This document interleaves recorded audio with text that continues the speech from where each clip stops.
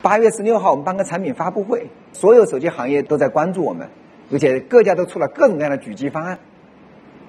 你想，不就小米发布一个产品吗？这发布会，北京每天在开一百场发布会吧？那小米怎么按一个发布会变成了万众瞩目呢？我其实这个问题也问了，昨天我那个同事，他说：“哎，我们有品牌，哎，我们的产品有吸引力。”我说：“你别瞎扯，我们背后做了多少工作？今天给你数一数。我相信辛勤和汗水，在这个背后我们做了多少事情？八月二号，我们发布了包装图。八月四号，我们发布了两兄弟占这个盒子。八月五号，又被大家广泛的 PS，PS 完了以后呢，我们又出了道公式，说小米手机乘二等于八幺六七九八。问你什么意思？当然，没有几个人算出来小米手机等于八幺六七九八除二啊，因为太简单了，没有人去算。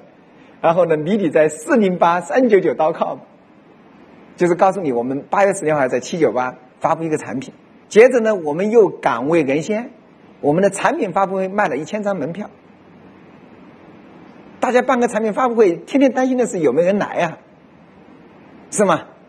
我们去年办发布会的时候啊，我们的市场部门跟我忧心忡忡的说：“我们这么大场地会有人来吗？”哎呀，我说你放一万个心。我说不仅要来，我们试试卖门票。为什么不能卖门票？我说我们去年挤都挤不进去，差点连我都挤不进去，我们为什么不卖门票？他们说卖门票人家会骂你，我说哎，我们又不图钱，这样我们把这个钱捐出去不就行了吗？捐给大家觉得公信力比较高的这个慈善机构就行了。我说我们不挣大家这个钱，就是这一系列的呃岗位人先的尝试，到最后的倒数最后一天的时候，说实话也也把我们快整疯了。我们东哥要开始电商价格战，这个八月十五号开战。万一他们打三天，我的事情不全泡汤了吗？弄得我没办法。八月十四号晚上十一点，我也莫名其妙的兴奋了一把。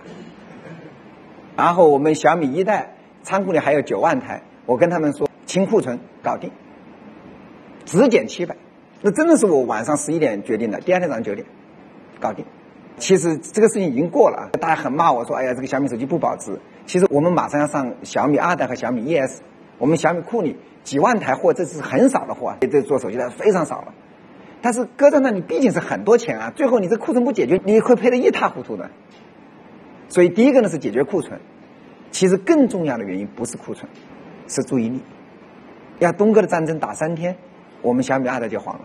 我们怎么在东哥如此强势的情况下获得一点点的声音？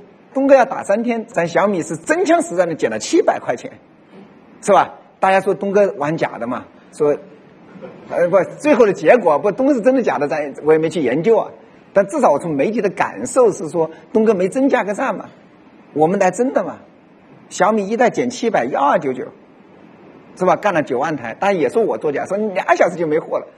我真只有九万台，我也没想到两小时就没货了，因为我也没宣传，就是晚上十一点开干，第二天早上九点开始。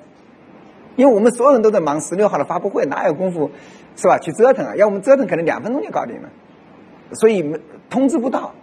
但是我中端系的所有的目的，其实想跟大家分享的就是，怎么在电商价格战里面获得关注度。